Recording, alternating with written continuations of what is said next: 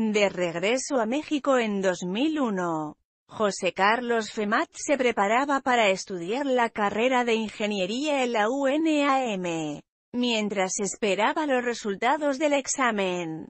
Y solo a manera de pasatiempo, participó como extra en películas y telenovelas en Morelos. Ahí conoció gente que lo orientó para estudiar en Casa Azul de Argos Comunicación mientras cursaba la carrera de ingeniería en la UNAM.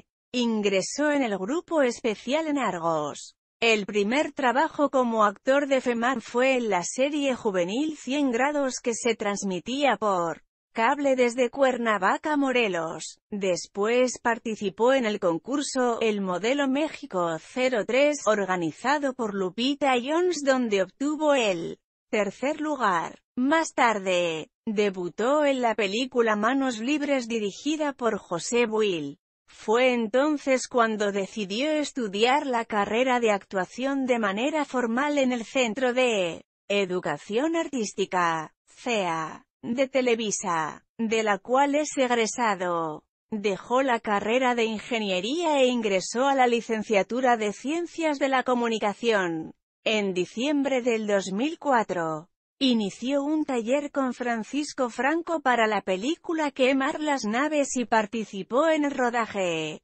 coactuando con Diana Bracho, Irene Azuela, Ángel Onésimo Nevares, Juan Carlos Barreto, Ramón Valdez, Bernardo Benítez, Ricardo Blume, Aida López, entre otros. En teatro, Femata actuó en el taller del orfebre, y en televisión participó en series como Mujer Casos de la Vida Real, La Rosa de Guadalupe y Plantados en cuanto a telenovelas participó en Lola Érase una vez en Querida Enemiga producida por Lucero Suárez. Tuvo una breve participación especial en la telenovela Verano de Amor en 2009 como el abogado de Otón, personaje interpretado por Juan Ferrara. En 2010 participó en la telenovela Zacatillo Un lugar en tu corazón de la productora Lucero Suárez. En 2011 participa en Dos hogares interpreto al hermano de Anaí, producida por Emilio La Rosa. En 2013 participa en De que te quiero. Te quiero interpretando al amigo de la protagonista.